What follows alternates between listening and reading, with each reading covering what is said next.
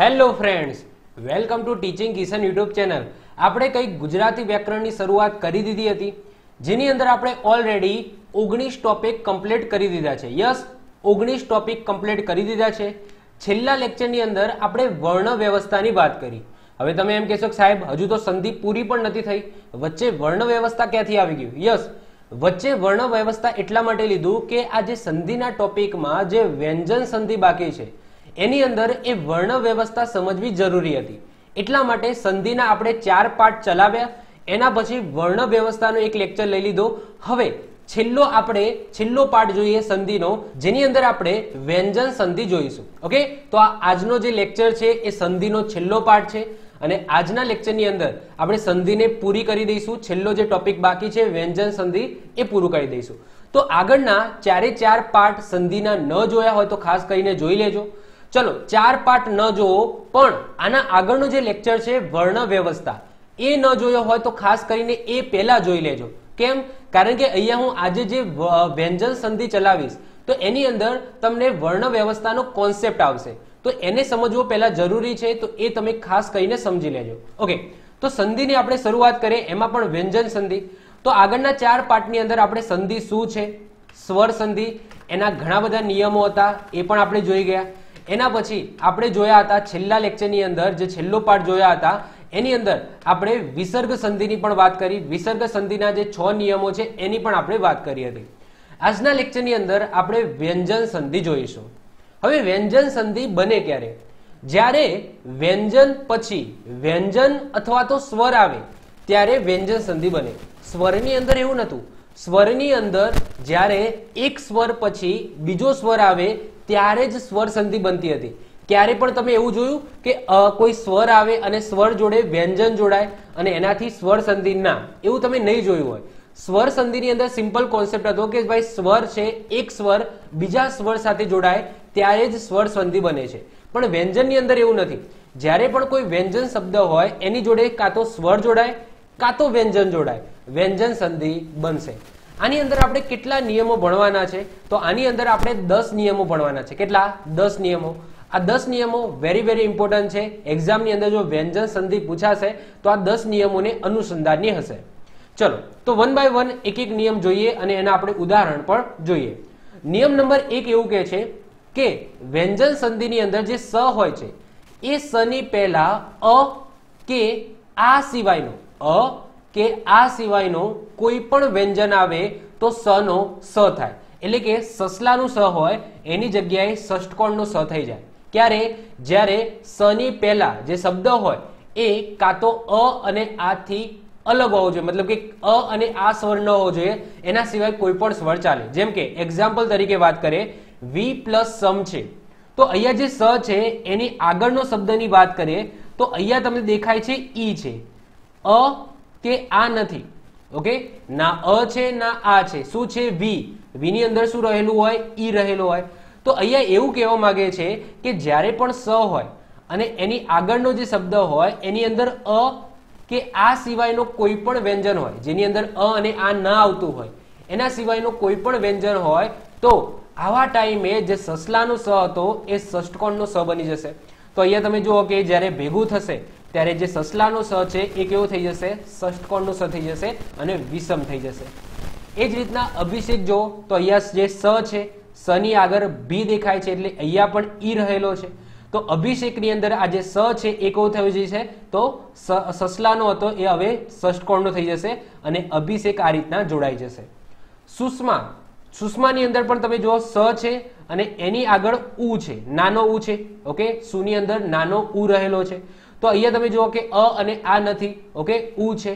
તો આવા ટાઈમે પણ આ જે સ છે, એની જગ્યાએ સ થઈ જશે. તો સુસમાં આવો થઈ જશે? એટલે કે જે આ જે સ છે, એની જગ્યાએ કયો સ આવી જશે? તો ષષ્ટકોણનો સ આવી જશે. તો આ નિયમ નંબર એક કે છે. ઓકે? સિમ્પલ જ છે કે ભાઈ, જ્યારે પણ કોઈ સંધિ આપેલી હોય, વ્યંજન સંધિ વ્યંજન સંધિ કઈ રીતના ખબર પડે? અહીંયા તમે જો આ પણ વ્યંજન છે અને આ પણ વ્યંજન છે. ઓકે? આ વ્યંજન કહેવાય. બે રીતના થાય. વ્યંજન સંધિની અંદર તમને એક બાજુ વ્યંજન જોવા મળશે મળશે અને મળશે. ક્લિયર ચલો. અહીંયા એવું નથી કે બે વ્યંજનો હોય ત્યારે જ વ્યંજન બને. વ્યંજન સંધિની અંદર વ્યંજન સાથે વ્યંજન પણ જોડાય અને વ્યંજન સાથે સ્વર પણ જોડાય. બંને કન્ડિશનની અંદર વ્યંજન સંધિ બનશે. પણ સ્વર સંધિની અંદર કન્ડિશન એવી હતી કે સ્વર સાથે સ્વર જ જોડાતો હતો. ક્લિયર ચલો. તો આઈ હોપ સો નિયમ નંબર એક તમને ક્લિયર થઈ ગયો હશે. હવે આપણે આગળ વધીએ, વાત કરીએ નિયમ નંબર બે. નિયમ નંબર બે એવું કહે છે કે તની પૂર્વ સોરી નની પૂર્વે ર આવે તો નનો અણ થઈ જાય. શું? નની પૂર્વે ર આવે તો નનો અણ થઈ જાય. શું છે જો ઉદાહરણ દ્વારા સમજીએ કે પ્ર પ્લસ નામ છે. હવે ન છે એ નની આગળ તમને ર દેખાય છે? ના સાહેબ, અહીંયા તો પ્ર છે. તો પ્રની અંદર પ પ્લસ ર થાય. તમે સંધિ છૂટી પાડો પ્રની. ઓકે, વર્ણ વ્યવસ્થાની અંદર આપણે સોરી ધ્વનિ શ્રેણીની અંદર જોયું હતું કે પ્રની અંદર પ પ્લસ ર હોય. તો અહીંયા તમને ર અંદર છે, અંદર છુપાયેલો છે, તમને દેખાતો નથી. ઓકે? તો અહીંયા તમે જો પ્ર બોલો તો અહીંયા ર બોલાય છે. તો અહીંયા પ્લ પ્લસ ર છે. તો અહીંયા જે ન છે, એ નની આગળ તમને ર દેખાય છે. ઓકે? ર છે. તો આવા કન્ડિશનની અંદર જે ન હતો, એ નનો અણ થઈ જાય. તો અહીંયા તમે જો કોમ્બિનેશન છે, એને તમે ભેગું કરો. તો પ્ર, પછી ન છે, એનો અણ થઈ જાય તો અણા અને મ. તો પ્રણા મ થઈ જશે. એ જ રીતના પરી પ્લસ નામ છે. તો નની આગળ તમને ર જોવા મળે, તો અહીંયા નનો શું થઈ જાય? અણ થઈ જાય. તો પરી નામ થઈ જાય. ઓકે? અણ થઈ જશે. ઓકે? પરિણામ પ્ર પ્લસ નિપાત. તો નની પહેલા ર તમને દેખાય છે. પ પ્લસ ર છે. ઓકે? પ્ર. તો આવા કન્ડિશનની અંદર પણ નણું શું થઈ જશે? અણ થઈ જશે અને બની જશે પ્રણિપાત. શું બની જશે? પ્રણિપાત. તો પ્ર પ્લસ નિપાત. તો પ્રણિપાત. તો ટૂંકમાં એટલું યાદ રાખો કે જ્યારે પણ વ્યંજન સંધિની અંદર નની આગળ ર તમને દેખાય તો એવા કન્ડિશનની અંદર નનો શું થઈ કરી દેવાનો? તો નણો અણ કરી નાખવાનો. શું કરી નાખવાનો? અણ. તો આ નિયમ નંબર બે કે છે. તો આઈ હોપ શું નિયમ નંબર એક અને નિયમ નંબર બે બધાને ખ્યાલ આવી ગયો હશે. ચલો વધીએ છીએ આગળ નિયમ નંબર ત્રણ. નિયમ નંબર ત્રણ એવું કહે છે કે મ વ્યંજન પછી કોઈ પણ સ્વર આવે તો મને મને સ્વરમાં ભળી નાખવાનું. હવે અહીંયા તમે જુઓ કે વ્યંજન પછી સ્વરની વાત કરી છે. અને આગળ મ હોવો જોઈએ. હવે મ હોય અને એના પાછળ કોઈ પણ સ્વર હોય. એક્સ વાય ઝેડ અ, આ, ઈ ઈ, ઉ, એ, ઐ, જે પણ સ્વર હોય, તો અહીંયા શું કરવાનું? મ અને એ સ્વર છે એનું ભેગું કરી નાખવાનું, એટલે કે એને કમ્બાઈ કરી નાખવાનો. એ જે સ્વર છે એ મની અંદર ભેળવી નાખવાનો. એક્ઝામ્પલ જોઈએ. સમ પ્લસ આપ્ત છે. તો આ મ છે એ મની પછી તમને તરત જ સ્વર દેખાય છે. તો આવા કન્ડિશનની અંદર આ મની અંદર સોરી યસ આ મની અંદર આ આને શું કરી નાખવાનો? સમાઈ નાખવાનો. તો એ શું થઈ જશે? આ છે એ મની અંદર સમાઈ જાય તો મા થઈ જાય. તો બસ એ જ કરવાનું છે. તો એ શું થઈ જશે? સ માપ્ત શું થઈ જશે? સ, પછી આ મા થઈ જશે અને ત તો સ માપ્ત અહીંયા તમે જુઓ, એ જ છે બીજા એક્ઝામ્પલની અંદર જુઓ. સમ પ્લસ ઈક્ષા છે. તો ઈ છે એને કોને સમાઈ નાખવાનો? મની અંદર સમાવી નાખવાનો. તો એ શું થઈ જશે? સ પછી મી થઈ જશે. આ કેટલું થઈ જશે? મી.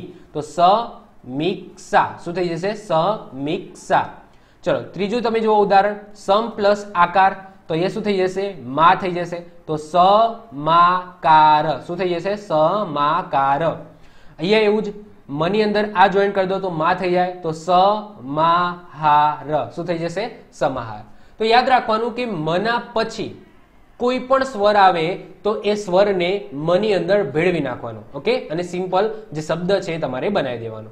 ચલો, સ્વર આવે તો એ તો ખબર પડી. પણ સાહેબ, કોઈ વ્યંજન આવે તો શું? તો એ નિયમ નંબર ચાર સમજાવે છે કે મની પછી કોઈ પણ વ્યંજન આવે તો મના સ્થાને અનુસ્વાર કરી નાખો અનુસ્વારનો મતલબ કે ટપકું કરી નાખવાનું ઓકે ચલો, જોઈએ આપણે. જેમ કે એક્ઝામ્પલ તરીકે જો ઓકે અહીંયા સંબંધ છે ઓકે અહીંયા ટપકું ભૂલી ગયું. ચલો, પહેલો તમે જુઓ કે સમ પ્લસ બંધ છે. શું છે? સમ પ્લસ બંધ તો અહીંયા તમે જુઓ કે મ પછી તરત જ તમને શું દેખાય છે? વ્યંજન જોવા મળે છે. ઓકે, અહીંયા તમે જુઓ કે સ્વર હતા. જો સ્વર હોય તો સિમ્પલ ભેગા થઈ જાય. વ્યંજન હોય તો અહીંયા મનું તમારે શું કરી દેવાનું? અનુસ્વાર. અનુસ્વાર એટલે કે શું કરી દેવાનું? ટપકું કરી નાખવાનું. તો અને એ ટપકું કોના જોડે મૂકવાનું? ક્યાં મૂકવાનું? તો મને આગળનો જે શબ્દ હોય એના માથે ટપકું આવી જશે. તો અહીંયા ટપકું આવી જાય તો શું થઈ જાય? સંબંધ. તો આવું થઈ જશે સંબંધ. ક્લિયર? ચલો. નીચે જુઓ, સમ પ્લસ યોગ છે, તો મ પછી વ્યંજન છે. તો આ ટપકું બની જશે મ અને ટપકું સના ઉપર આવી જશે. તો એ શું થઈ જશે? સંયોગ થઈ જશે. સમ પ્લસ ગતિ છે, તો સંગતિ થઈ જશે. સમ પ્લસ ચાર છે, તો તો શું થઈ જશે? સંચાર થઈ જશે. ઓકે? તો નિયમ નંબર ત્રણ અને ચાર છે, એ મના અનુસંધાનમાં છે કે મ પછી સ્વર આવે તો શું કરવાનું? અને મ પછી વ્યંજન આવે તો શું કરવાનું? સ્વર આવે તો સિમ્પલ એની અંદર સમાઈ લેવાનો. અને વ્યંજન આવે તો મનુ શું કરી દેવાનું? અનુસ્વાર કરી દેવાનું. આ નિયમ નંબર ત્રણ અને નિયમ નંબર ચાર કે છે. ચલો, આગળ વધીએ આગળના નિયમ ઉપર. નિયમ નંબર પાંચ. નિયમ નંબર પાંચ શું કે છે? કે પદના છેડે ર અને પછી કોઈ પણ વ્યંજન આવે તો રનો રેપ કરી નાખવાનો. એટલે કે તમે અહીંયા જુઓ કે અહીંયા મની વાત થતી અહીંયા ર છે. તો રનો શું કરી નાખવાનો? રેપ કરી નાખવાનો. રેપ એટલે તમે સિમ્પલ વસ્તુ આ રીતના તમે અર્ધચંદ્રાકાર મૂકો છો, એને શું કહેવામાં આવે? ગુજરાતી ભાષાની અંદર રેપ કહેવામાં આવે. તો અહીંયા તમે જુઓ કે પદના છેડે ર પછી કોઈ પણ વ્યંજન આવે, તો એનો શું બની જશે? રનો રેપ બની જશે. ચલો, જોઈએ ઉદાહરણ કે અંતર. તો પાછળ તમને ર દેખાય છે અને ર છે એ ખોડો હોય. હંમેશા યાદ રાખજો કે જ્યારે પણ એની અંદર કોઈ પણ જે સ્વર છે એ સમાયેલો ન હોય, કોઈ પણ વ્યંજનની અંદર, તો એ વ્યંજન ખોડો હોય. અને ખોડો હોય તો જ એની અંદર કંઈક સમાવાની શક્તિ હોય. જેમ કે અહીંયા તમે જુઓ કે મ છે, અને આ છે, તો આ મ ખોડો હોય ત્યારે જ એની અંદર આ સમાઈ શકે. મ આખો હોય તો એની અંદર આ સમાઈ શકે નહીં. કારણ કે આખો હોય તો ઓલરેડી એની અંદર સ્વર રહેલો જ હોય. ઓકે? તો અહીંયા તમને દેખાશે કે બધા જગ્યાએ તમને ખોડો દેખાશે. ઓકે? તો જ એની અંદર કોઈ બીજો સ્વર છે એ સમાઈ શકે. ચલો. વધીએ છીએ આગળ ઓકે ક્યાં હતા? ઓકે નિયમ નંબર પાંચનું ઉદાહરણ જોતા હતા. અંતર પ્લસ ગત છે. તો નિયમ એવું કહે છે કે રના પછી કોઈ પણ વ્યંજન આવે તો રનો શું થઈ જાય? રેપ થઈ જાય. એટલે કે ર ગાયબ થઈ જાય અને એની જગ્યાએ ઉપર અર્ધચંદ્રાકાર મૂકી દેવાનો. પણ એ અર્ધચંદ્રાકાર કોની ઉપર જશે? તો યાદ રાખજો, રના પછી જે પણ વ્યંજન આવશે, એ વ્યંજનના ઉપર જતો રહેશે. ઓકે આ યાદ રાખજો. તો પેલામાં શું હતું? કે જે અનુસ્વાર હતો, એ મના આગળનો જો કોઈ શબ્દ હોય, એના ઉપર જતો રહેશે. જ્યારે રેપ છે, એ પાછળ જે શબ્દ હશે, એના ઉપર જતો રહેશે. ચલો. તો અંતરગત છે. તો શું થઈ જશે? અંતર્ગત. એટલે કે આ જે ર હતો, એ ગના ઉપર રેપ થઈને આવી ગયો. તો આ શું બની ગયું? અંતર્ગત. ઓકે? અંતર્ગત. ચલો. એ જ રીતના બીજો જુઓ. અંતરદ્વાર. ઓકે? તો આ દ્વાર, તો અહીંયા પણ તમને જો દ અને ર રહેલો છે. એટલે કે બંને વ્યંજન જ છે. એનાથી ધ્વ બનેલો છે. તો અંતરદ્વારની અંદર આ રેપ થઈ જશે અને એ ક્યાં આવી જશે? આના ઉપર આવી જશે. તો અહીંયા તમે જુઓ કે આ દ્વાર જ છે, ઓકે? ઓકે, આ આ રીતના ગુજરાતી મતલબ કે મેં ટાઈપિંગ કર્યું, એમાં આવું લખાઈ ગયું છે, પણ આવું છે, ઓકે? અંતર દ્વાર ઓકે? આવું છે. ક્લિયર તો આ ધ્વા છે, એનું અલગ થઈ ગયું છે, આમાં દ અને ર બની ગયું એ સોરી દ અને વ થઈ ગયું છે, ઓકે? ચાલો, તો આ રીતના છે. એટલે કે ટૂંકમાં જે રેપ હતો રનો રેપ બનીને એ ધ્વાની ઉપર આવી ગયો છે. ચલો આગળ વધીએ છે અંતર પ્લસ યામી. તો ર છે એ રેપ બનીને યના ઉપર આવી જશે, તો અંતરયામી થઈ જશે. ધનુર પ્લસ વેદ, તો ધનુર્વેદ થઈ જશે. એટલે કે જે રેપ છે એ વના ઉપર આવી જશે આ રીતના. તો ધનુર્વેદ બની જશે. તો આ નિયમ નંબર પાંચ કે છે. ચલો, નિયમ નંબર છ જો પદના છેડે ક વ્યંજન હોય અને ત્યારબાદ કોઈ સ્વર કે વ્યંજન આવે, તો કનો ગ થઈ જાય. ફરીથી રિપીટ કરું છું જો ક નો નિયમ શું કહે છે? કે પદના છેડે ક હોય. ઓકે વાક, દીક વાક, દીક. ઓકે, તો ક હોય. અને એના પછી એના પછી કોઈ પણ સ્વર કે વ્યંજન આવે. X, Y, Z. ટૂંકમાં અહીંયા છેલ્લે ક હોય અને પછી અહીંયા સ્વર હોય કે વ્યંજન હોય. કનો શું થઈ જશે? ઘ બની જશે. ચલો, ઉદાહરણ જોઈએ. તો અહીંયા તમે જુઓ, દીક. દીક પ્લસ અંબર. તો અહીંયા શું છે? સ્વર છે. ઓકે? કના પછી તરત શું આવેલો છે? સ્વર આવેલો છે. તો અહીંયા શું કહે છે? કે ક નીકળી જશે અને કના જગ્યાએ શું થઈ જશે? ગ થઈ જશે. હવે ગ અને અ છે એ બંનેનું કોમ્બિનેશન થઈ જશે અને બની જશે ગ એટલે કે અનુસ્વાર વાળો ઓકે? આ જે કનો ગ કરી નાખ્યો. પણ એ ખોડો છે. ઓકે? કનો ગ કર્યો એ ખોડો છે. તો એની અંદર સ્વર તો ઉમેરવો પડશે તો આ અ છે એ ગની અંદર સમાઈ જશે. અને ગની અંદર સમાઈને એ શું થઈ જશે? અનુસ્વાર વાળો ગ થઈ જશે. એટલે કે દી, પછી અનુસ્વાર વાળો ગ પછી બ અને ર. તો શું થઈ ગયું? દિગંબર. શું થઈ ગયું? દિગંબર. ચલો, બીજું ઉદાહરણ જોઈએ. વાક પ્લસ બાણ. તો એનું ઘ કરી નાખો. અને ઘ છે એ ગના સાથે કોઈ, બીજો વ્યંજન જોડાય તો યાદ રાખવાનું કે એને ટુકડો કરી નાખે. સ્વર જોડાય તો એ આસાનીથી જોડાઈ જાય. પણ બે વ્યંજનને જોડવા એટલે કે એક તૂટે, ગમે તે એક તૂટે, કાં તો એને રેપ થઈને ઉપર આવી જવું પડે, કાં તો એને તોડીને એ લઈ લે અંદર. તો અહીંયા તમે જુઓ કે ગ અને બ એ જોડાશે. તો ગ છે એ અડધો થઈ જશે, તો વાઘ બાણ થઈ જશે. વાક પ્લસ મિતા તો વાગ્મિતા થઈ જશે. દિક પ્લસ ગજ તો દિગ્ગજ થઈ જશે. એટલે કે આ ક છે એનો ગ બની જશે. અને બે ગ જોડાશે તો આ ગ છે એને તોડી નાખશે તો દિગ્ગજ થઈ જશે. ઓકે? સિમ્પલ છે. ચલો. તો આઈ હોપ નિયમ નંબર પાંચ અને છ પણ ક્લિયર થઈ ગયા છે. હવે આગળના જે નિયમો છે એ કોષ્ટક પ્રમાણે છે. ઓકે? તમે એવું કહેશો સાહેબ, પેલું કોષ્ટક વાળું તો આવ્યું યસ. હવે જે ચાર નિયમો આવશે એ આ કોષ્ટકના અનુસંધાનમાં આવશે. હવે આ કોષ્ટકની અંદર મેં ટોટલી બધી વસ્તુ આગળનો જે લેક્ચર છે વર્ણ વ્યવસ્થા એની અંદર ટોટલી કરાવી દીધું છે. તો એટલા માટે કહું છું કે આગળનો લેક્ચર પહેલા જોઈ લેજો, જેની અંદર મેં વર્ણ વ્યવસ્થા ચડાવી છે. એના પછી જ આ વ્યંજન સંધિ જોજો. તો જ તમને આ પાછળના જે ચાર નિયમો છે, એની અંદર ખબર પડશે. ઓકે આને હું ટૂંકમાં કોષ્ટકને ફટાફટ રિવાઇઝ કરાવી દઉં. તો એની અંદર પાંચ વર્ગ હતા. ક, ચ, ટ, ત અને પ. કઈ રીતના યાદ રાખવા એ લાસ્ટ લેક્ચરની અંદર સમજાવ્યું હતું. દરેક વર્ગની અંદર ચાર શું હતા? તો શબ્દો હતા. અને એક અનુનાસિક હતો. ચાર શબ્દો અને એક અનુનાસિક. એટલે કે ટોટલી તમે કહો તો પાંચ વસ્તુ હતી. ઓકે પાંચ શબ્દો હતા. એમાંથી જે પહેલા બે શબ્દો હતા એ અઘોષ હતા. બીજા બે શબ્દો હોય એને ગોસ કહેવામાં આવે. હવે અઘોષ શું છે અને ગોસ શું છે એ પણ મેં તમને લાસ્ટ લેક્ચરની અંદર સમજાવ્યું હતું. તો બે શબ્દો અઘોષ હોય, બે ઘોષ હોય અને જે પાંચમો શબ્દ હોય એને અનુનાસિક કહેવામાં આવે. એ જ રીતના ક, ચ, ટ, ત અને પ. બધાની અંદર પાંચ પાંચ શબ્દો હોય, પહેલા બે અઘોષ હોય, બીજા બે ઘોષ હોય અને પાંચમો હોય એ અનુનાસિક હોય. ઓકે? તો આ વસ્તુ મેં ચલાવેલી છે. ચલો, હવે આના પ્રમાણે, ઓકે? આના અનુસંધાનમાં લઈને બીજા ચાર નિયમો આપણે વ્યંજન સંધિના જોઈએ. નિયમ નંબર સાત એવું કહે છે કે ત વર્ગના વ્યંજન પછી લ વ્યંજન આવે તો તના બદલે લ મુકાય. જો હવે ત વર્ગ લખ્યો એટલે કે શું? તો ત વર્ગની અંદર જો આ ચાર શબ્દો હોય ત, થ, દ અને ધ. ઓકે જ્યારે તમે ત વર્ગ કહો છો કે ત વર્ગ, તો એની અંદર ચાર શબ્દો આવી જાય. ત, થ, દ અને ધ. તો એ શું કહે છે? કે ત વર્ગના વ્યંજન પછી, એ જે ચાર વ્યંજન કીધા, એ ચાર વ્યંજન પછી જો લ આવે છે, તો તનો શું થઈ જશે? લ થઈ જશે. એક્ઝામ્પલ તરીકે લઈએ જો કે ત ત પછ લીન. ઓકે ત ત પ્લસ લીન. તો અહીંયા અમે જુઓ કે ત વર્ગની અંદર તતો હોય એના પછી જો તમને વ્યંજન જોવા મળે, અને ત વર્ગ પછી ઓકે સોરી ત વર્ગના કોઈ પણ વ્યંજન પછી તમને લ જોવા મળે. એટલે કે ત, સમજો કે અહીંયા જે ચાર શબ્દો છે, ત, થ, દ અને ધ. આના પછી જો તમને લ જોવા મળે ઓકે આ જે ચાર શબ્દો છે, એના પછી તમને લ જોવા મળે. તો અહીંયા જો ત છે, એના પછી જો તમને લ જોવા મળ્યો તો આવા કન્ડિશનની અંદર જે આગળનો ત હતો, એનું શું કરી દેવાનું? લ કરી નાખવાનું. તો ત છે, એ મૂકી દીધો. હવે આ જે ત છે, એનું શું થઈ જશે? લ થઈ જશે, કારણ કે પાછળ લ આવ્યો છે. તો તલ્લીન, શું થઈ જશે? તલ્લીન. એ જ રીતના જવાબ બીજું એક્ઝામ્પલ વિદ્યુત લેખા. તો ત છે, અને એના પછી તરત શું આવ્યો? લ આવ્યો. તો તનો લ કરી નાખો. તો વિદ્યુ લેખા. વિદ્યુ લેખા. ઓકે? તો લ બે વખત થઈ જશે, બેવડાશે. ઉત્ત લેખ. તો ઉત્તલેખનો ઉલ્લેખ થઈ જશે. આ જે ત છે, એનું લ થઈ જશે. તો ઉલ્લેખ.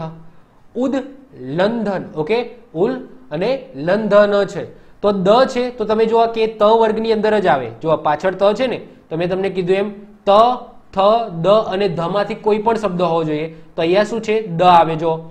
તો દ આવ્યો, તો દ પછી શું છે? લ છે. તો આવા કન્ડિશનની અંદર શું કરી દેવાનું? દ નું પણ લ કરી નાખવાનું. તો ઉલ્લંધન, શું થઈ જશે? ઉલ્લંધન. તો નિયમ નંબર સાત શું કહે છે? કે ત વર્ગનો કોઈ પણ વ્યંજન હોય એના પછી જો લ આવ્યો, તો એવા કન્ડિશનની અંદર એ જે વ્યંજન છે, જે વર્ગનું વ્યંજન છે, એની જગ્યાએ લ કરી નાખવાનું. ઓકે, આ નિયમ છે. ચલો, નિયમ નંબર આઠ જોઈએ. ત વર્ગના વ્યંજન પછી જો જ આવે છે, તો આવા કન્ડિશનની અંદર તનો જ કરી નાખવાનો. જો ત વર્ગના વ્યંજન પછી લ આવતો હોય, તો તનો લ કરતા હતા. તો એ જ રીતના ત વર્ગના વ્યંજન પછી જ આવે છે, તો તનો જ કરી નાખવાનો. જેમ કે, સત અને જન છે. તો તનો શું કરી નાખવાનું? જ કરી નાખો તો સજ્જન થઈ જશે. ઉત પછી જ વ જ, વ, લ છે. તો એનું જ કરી નાખો તો ઉજ્જવલ થઈ જશે. ઉત જૈન છે તો શું થઈ જશે? ઉજ્જૈન થઈ જશે. એટલે કે અહીંયા જે હશે એનો તમારે જ કરી દેવાનો. ક્લિયર તો આ નિયમ નંબર આઠ કે છે. તો નિયમ નંબર સાત અને આઠ છે. ઓકે? એ તને અનુસંધાનમાં છે. એટલે કે ત છે, એના પછી લ આવે છે. એટલે કે ત વર્ગના કોઈ પણ શબ્દ પછી, કોઈ પણ વ્યંજન પછી લ આવે છે. તો લ કરી નાખવાનું. અને જ આવતો હોય તો જ કરી નાખવાનો. ચલો, આગળ છેલ્લા બે નિયમો જોઈએ. ત વર્ગના વ્યંજન પછી જો ચ અથવા તો છ આવે છે, તો આવા કન્ડિશનની અંદર તનો ચ કરી નાખવાનો. ફરીથી રિપીટ કરું છું. ત વર્ગના વ્યંજન પછી ચ અથવા તો છ આવે છે, તો એવા કન્ડિશનની અંદર તનો ચ કરી નાખવાનો. ચલો એક્ઝામ્પલ દ્વારા સમજીએ. જેમ કે ઉત્ત અને છેદ. તો ત પછી શું આવે? ચ અથવા છ માંથી કોઈ પણ શબ્દ હોવો જોઈએ. તો અહીંયા છ છે. તો આવા કન્ડિશનની અંદર તનો શું કરી નાખવાનું? ચ કરી નાખવાનું. હવે અહીંયા તનો તમે ચ કરી નાખો. તો શું થઈ ગયું? ઉચ્ચ છેદ. હવે ચ અને છ, આ બંનેનું કોમ્બિનેશન થાય તો શું થઈ જાય? ચ અડધો થઈ જાય અને છ થઈ જશે. તો અહીંયા શું થઈ જશે? ઉચ્છેદ. શું થઈ જશે? ઉચ્છેદ. ઉચ્ચાર. તો ત પછી ચ આવ્યો. ઓકે? તો આનું શું કરી દો? ચ કરી નાખો. તો ઉચ્ચાર થઈ જશે. ઉત્છલનો ઉચ્છલ થઈ જશે અને ઉત્ચાલનનું ઉચ્ચાલન થઈ જશે. ક્લિયર એટલે કે આ નિયમ એવું કહે છે કે ત વર્ગના કોઈ પણ સદસ્ય પછી ચ અથવા તો છ જોવા મળે તો આવા કન્ડિશનની અંદર તનું ચ કરી નાખવું. ક્લિયર અને પછી વાક્યને જોઈન કરી દેવું. છેલ્લો નિયમ જોઈએ, કોઈ પણ વર્ગના પ્રથમ વ્યંજન પછી અનુનાસિક વ્યંજન આવે. કોઈ પણ. ઓકે કોઈ પણ વર્ગ તમે પકડી લો. ક, ખ જે જે આપણે વર્ગો કીધા એમ ક, ચ, ટ, ત અને પ. કોઈ પણ વર્ગના કોઈ પણ સદસ્ય, ક, ખ, જ, ટ, ડ, કોઈ પણ આજે આ તમને એ શબ્દો દેખાય છે, ઓકે? આ બધા શબ્દો પછી કોઈ પણ અનુનાસિક શબ્દ આવે, ઓકે? તો શું કરવાનું? ધ્યાનથી સમજજો. તો કોઈ પણ વર્ગના પ્રથમ વ્યંજન પછી અનુનાસિક વ્યંજન આવે, તો એ વ્યંજનના બદલે અનુનાસિક વ્યંજન મૂકી નાખવાનું. એક્ઝામ્પલ તરીકે વાત કરીએ કે વા ક અને મય. તો આ જે ક છે, એ કેવો છે? તો ક શબ્દ તમે જુઓ કે આની અંદર જોવા મળશે, અઘોષની અંદર જોવા મળશે. હવે ક શબ્દ પછી કયો શબ્દ આવ્યો? મ શબ્દ આવ્યો. અને મ શબ્દ તમે જુઓ કે અનુનાસિક છે, જો આ રહ્યો મ. અને મ શબ્દ શેમાં છે? અનુનાસિક. એટલે કે ઘોષ કે અઘોષ, કોઈ પણ વ્યંજન પછી, જો અનુનાસિક શબ્દ આવે છે અનુનાસિક અક્ષર આવે છે કે અનુનાસિક વ્યંજન આવે છે, તો એ જે શબ્દ હોય, એની જગ્યાએ શું કરી નાખવાનો? અનુનાસિક શબ્દ કરી નાખવાનો. એટલે કે આ એક્ઝામ્પલમાં તમે જુઓ કે વા ક અને મય છે, ઓકે? તો આ જે ક વર્ગ છે, આ ક વર્ગનો અનુનાસિક શબ્દ કયો છે? તમે જુઓ. તો ક વર્ગનો અનુનાસિક શબ્દ છે આ રહ્યો આને શું બોલાય? તો આને અંગ બોલાય. શું બોલાય? અંગ. ઓકે? આમ તો શું બોલાય? ડંગ બોલાય. ડંગ. એટલે કે એની અંદર અંગ તમને ઉચ્ચારણમાં આવતો હશે. ડંગ. ઓકે? તો આને અંગ બોલવામાં આવે છે. તો અહીંયા જે ક છે, તો કની જગ્યાએ એનો અનુનાસિક જે શબ્દ છે, અંગ, એ મૂકી નાખવાનો. તો જો તો અહીંયા જે ક છે, તો આ કની જગ્યાએ શું મૂકી નાખ્યો? તો એનો અનુનાસિક શબ્દ અંગ મૂકી નાખ્યો. તો આ શબ્દ કઈ રીતના ઉચ્ચારણ પામશે? તો વાડમ્ય. શું ઉચ્ચારણ થશે? વા ડંગમ્ય વા ડંગમ્ય શું બોલાશે? વા ડંગમ્ય ઓકે, આની અંદર ડંગ અને ડંગ બોલવામાં આવે છે. પણ આપણે અંગ બોલી દેતા આવીએ છીએ ભાઈ આ અંગ છે. પણ એકચ્યુઅલી ડંગ બોલવામાં આવે તો વા ડંગ મ્ય બોલવામાં આવે. વા ડંગ મ્ય. ક્લિયર ચલો.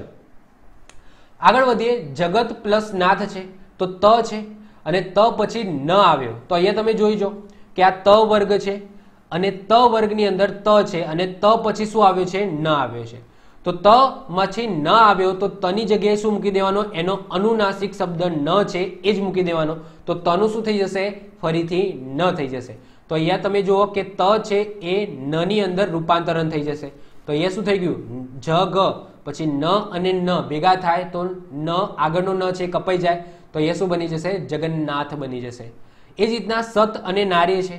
તો તનું ન કરી નાખો, તો સન્નારી થઈ જશે. ત અને ન છે, તો ઉન્નતિ થઈ જશે ઓકે તો ઉ ન નતિ તો ઉન્નતિ બની જશે ક્લિયર તો છેલ્લો નિયમ વેરી ઇમ્પોર્ટન્ટ છે કે જ્યારે પણ કોઈ પણ શબ્દ આવે છે, જે આગળ જે વર્ગો જોયા, એ વર્ગોમાંથી કોઈ પણ શબ્દ આવે છે અને એની પાછળ કોઈ પણ અનુનાસિક શબ્દ આવે છે, તો આગળનો જે વ્યંજન હતો, એ વર્ગનો અનુનાસિક શબ્દ મૂકો. એ વર્ગનો મૂકો, જેમ કે અહીંયા મ આવ્યો, તો મ એક અનુનાસિક છે. તો મ નથી મૂકવાનો. પણ જે આગળ જે વ્યંજન હોય છે, ક, તો એનો અનુનાસિક આપણે મૂક્યો કે ક જે હોય, તો ક વર્ગનો અનુનાસિક મૂકવાનો એટલે કે અંગ મૂક્યો. ક્લિયર તો આઈ હોપ સો તમને ક્લિયર થતું હશે. તો આ જે દસ નિયમો છે, આ દસ નિયમો તમારે વ્યંજન સંધિની અંદર યાદ રાખવાના છે. તો આ સાથે આપણે પાંચ લેક્ચરની અંદર આપણે સંધિ પૂરું કર્યું. પાંચે પાંચ લેક્ચરમાંથી તમને કોઈ પણ ડાઉટ હોય, કંઈ પણ ક્વેશ્ચન હોય તો તમે નીચે કોમેન્ટ કરજો. હું એનો આન્સર ટ્રાય કરીશ કે એનો આન્સર આપીશ. અથવા તો મારા સિવાય કોઈ તમારા, મારા જે સ્ટુડન્ટો હોય, એને ખબર પડી ગઈ હોય ક્વેશ્ચનનો અને જવાબ આપતો હોય તો એ તમને હેલ્પ કરી નાખશે. ઓકે તો આ જે તમારા દસ નિયમો છે અને એની સાથે આપણો જે સંધિનો ટોપિક છે એ આપણે અહીંયા પૂરો કરીએ છીએ. હવે માંડ બે ત્રણ ટોપિક બાકી છે, એ ફટાફટ પૂરા કરી દઈશું. ઓકે? અને આપણે ગુજરાતી વ્યાકરણને આપણે ટોટલી કમ્પ્લીટ કરી દઈશું. તો જો તમને વીડિયો ગમ્યો તો વિડીયોને લાઇક કરી દો, તમારા મિત્રો સાથે શેર કરી દો. જો તમે આ ચેનલ પર નવા હો તો ચેનલને સબસ્ક્રાઇબ કરીને બાજુમાં રહેલું બે લાઇકન દબાવી દો. જેથી કોઈ નવો વીડિયો અપલોડ કરું તો એની નોટિફિકેશન તમને મળતી રહે, તમારો કોઈ પણ વીડિયો મિસ ના થાય. તો મળશે નેક્સ્ટ લેક્ચરમાં બાય ઓલ ધ બેસ્ટ